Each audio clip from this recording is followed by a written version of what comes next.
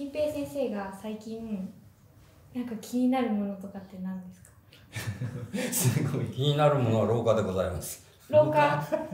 な廊下って廊下じゃなくてオイル。ああ そうなんです。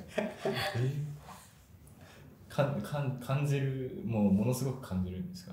ものすごいよいやあなたも長生きしてこれああ金平さんはこの境地にいたんやなって嫌ほど感じるけど。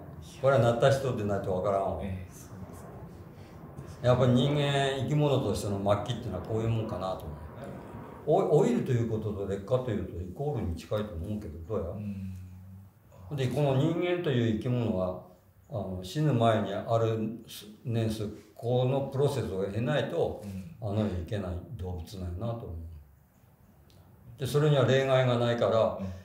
超有名になった人も超天才さんも みんなこれ味わってるんやなと思うと愉快やけど。う確かにそうですね。ああ。間違い例外なくそれないと死んでいけんから、ええそうですね。交通事故でも合わん限り、うん。だこれは平等に迫ってくるから面白いなと思う、ええ。